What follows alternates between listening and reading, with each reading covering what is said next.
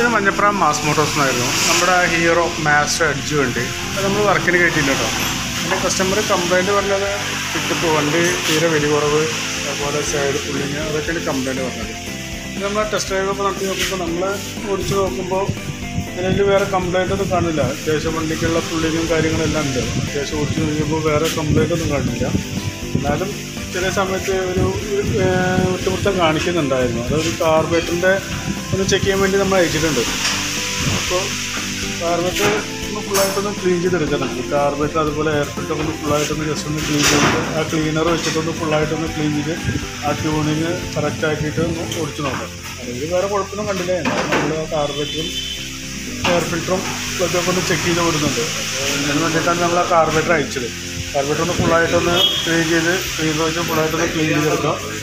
പിന്നെ അതുപോലെ air filter check ചെയ്താണ്. എയർ ഫിൽറ്ററൊക്കെ നമുക്ക് ക്ലീൻ ചെയ്തെടുക്കാം. വേറെ കുഴപ്പമൊന്നുമില്ല.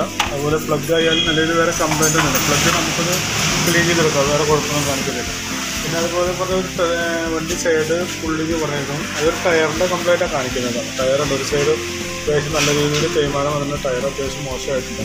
ടയർ മാറ്റി കഴിഞ്ഞാലാണ് അത് ക്ലിയർ ആവുക കേട്ടോ. ടയറും കാര്യങ്ങളൊക്കെ നമ്മൾ ചെക്ക് ചെയ്തിടാം. ടയർ മാറ്റി കഴിഞ്ഞാലാണ് ആ സൈഡ് പുള്ളിങ് ക്ലിയർ ആവുക. ഓക്കെ പിന്നെ എഞ്ചിൻ ഓയിൽ ചെക്ക് ചെയ്ത് കഴിഞ്ഞപ്പോൾ എഞ്ചിൻ ഓയിൽ കുഴപ്പമൊന്നുമില്ല. എഞ്ചിൻ ഓയിൽ പുതിയ നല്ല ഓയിലാണ് പുതിയ ഓയിലാണ് വേറെ കുഴപ്പമൊന്നുമില്ല. അപ്പോൾ നിങ്ങൾ തൽക്കാലം അതിന്റെ എയർ ഫിൽറ്ററും പ്ലഗും കാർബറ്റും കൂടെ നയിച്ച് ക്ലീൻ ചെയ്തിട്ടൊന്ന് റീസെറ്റ് ആക്കാം. ഓക്കെ